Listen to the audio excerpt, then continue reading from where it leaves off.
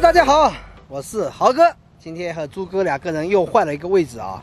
呃，大理呢，我是两年以前，呃，走那个滇藏线去新疆，呃，西藏的时候路过过这里。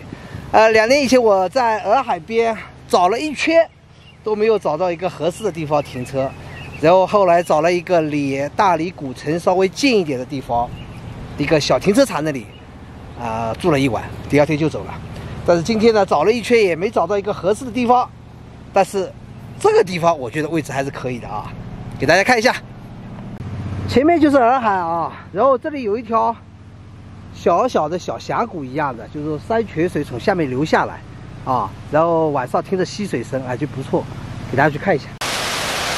大家听一下，这个就是从山上流下来的泉水啊，这种声音晚上伴随着你入眠啊，特别舒服啊啊！感觉看一下，环境还可以吧？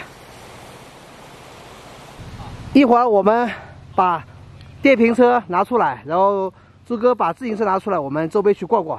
这个地方一会儿我会打一个窝窝啊，然后以后来大理的车友也可以在这里停车。这个地方可以停四台跑车，下面还有一个小停车场，也可以停四台跑车啊。我觉得这个位置还是可以的。以后大车友来大理的时候，也可以来这边停一下。好了，我的电瓶车已经卸下来了，可以把这个支杆就可以上升下来，它可以控制你的自行车的把。哎，它有这个固定好的话，它车车不会晃。走，我们去逛逛。对，骑着我的小电驴。哎呀，停在这个地方。刚才有个人跟我们来说了，就说这个地方是单位的停车场，不让停。哎，所以说刚才我又去上面去看了一下，上面有个小停车场，上面可以停，环境没这里好一点，但是也还行。好，那一会儿我们去外面先找点吃的，找好吃的以后再挪位置吧。走起来，走起来！哎呦，这陆地，啊，就是单位的啊。好了，我们这边去逛逛。哎呦吼！哇，大家看一下，看上去洱海环境还是可以啊，就是这个风有点大，我估计拍的视频都风噪会比较大一点。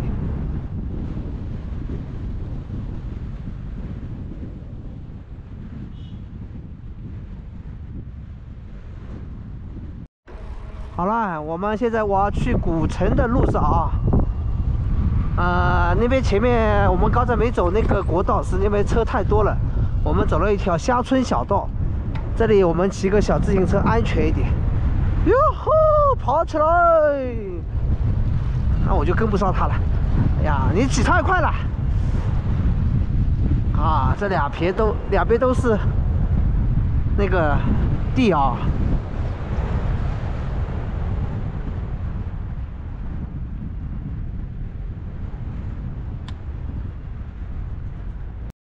好了，跑到一条小弄堂里来了啊！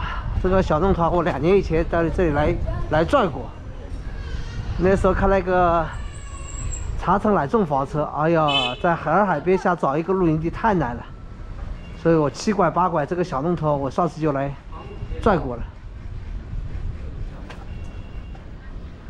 路很小，但是还有还是有古镇的这种韵韵味啊。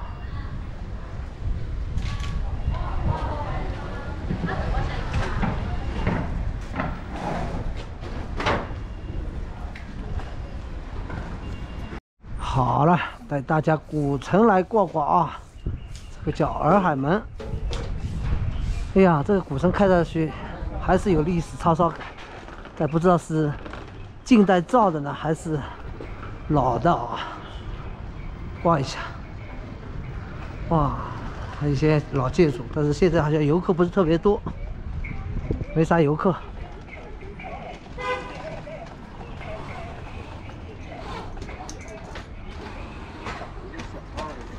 现在古镇里面也没什么游客啊，啊，除了一些沿街的商铺，游客不是特别多，嗯，稀稀拉拉的一些游客。